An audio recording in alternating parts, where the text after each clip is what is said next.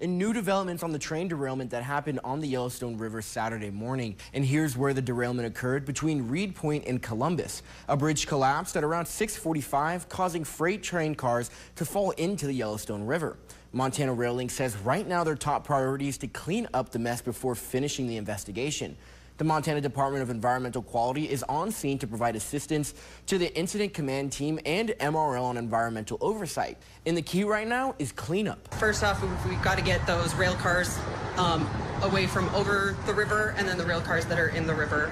Um, along with that, once that's done, we'll start looking at removal of the product that was released into the river. Officials completed offloading of one car that was derailed but still on the bridge that contained sodium hydrosulfide.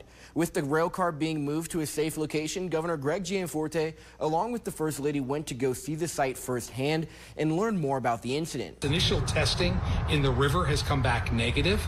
Uh, we're going to continue testing water quality to ensure the integrity of water supply for downstream users. And with testing coming back negative, Montana Fish, Wildlife, and Parks have reopened Pelican, Bratten, and Indian Fort fishing access sites after initial closures the day of the derailment. And if you want to see the full interviews with Montana DEQ and the governor, head to our Facebook page, NBC Montana, along with our website to see statements from Montana Rail Link and FWP. We will make sure to keep you updated on air and online as the story develops.